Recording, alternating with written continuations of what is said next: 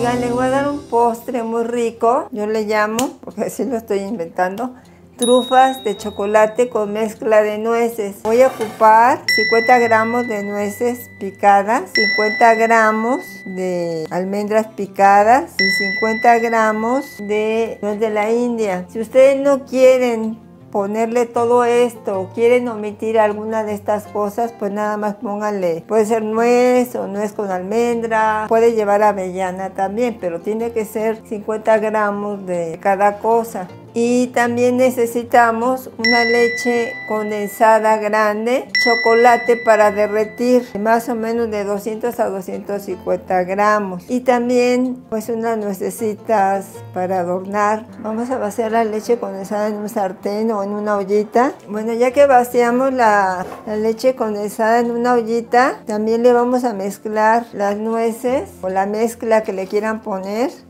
Yo le estoy poniendo almendra, nueces y también nuez de la India. Y vamos a ir revolviendo, lo vamos a mezclar bien, más o menos como 5 a 6 minutitos. Mire, tiene que estarlo moviendo esto porque si lo dejan de mover se empieza a pegar la leche. Entonces hay que dejarlo, como les digo, puede ser 6 minutos, 7 según, hasta que se seque la leche junto con la mezcla de, nueces. Ya se secó, ya se despega del sartén y es cuando ya se puede apagar. Ya lo vamos a apagar porque ya está seco. Lo vamos a vaciar en un platito donde quiera para que se vaya enfriando esta mezcla. Yo puse papel cera para que no se pegue en el plato y ahí lo, vaciamos. Lo pueden dejar así a que enfríe o lo pueden meter también al refrigerador para que enfríe más rápido. Bueno, miren, ya dejé enfriar la mezcla, que debe de quedar ya durita, que se pueda desprender.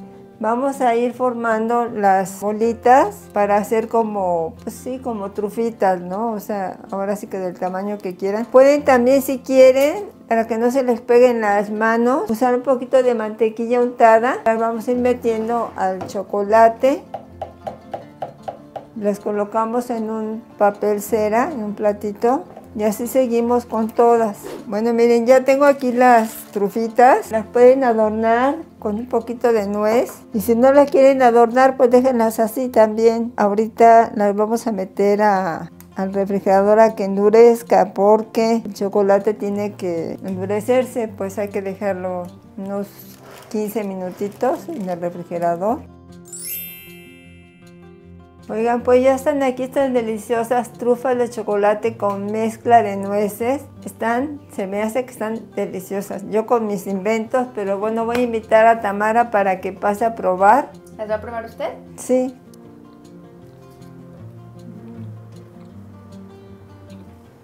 Están muy buenas.